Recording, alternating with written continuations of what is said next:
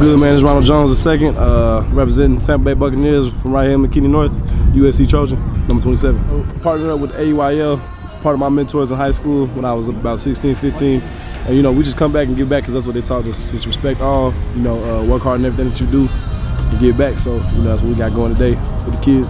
Believe in the naysayers, uh, like literally believe them. Uh, use that to motivate you and fuel the fire because I had to do the same thing and I'm still doing it, you know, in the NFL, still have to prove people wrong.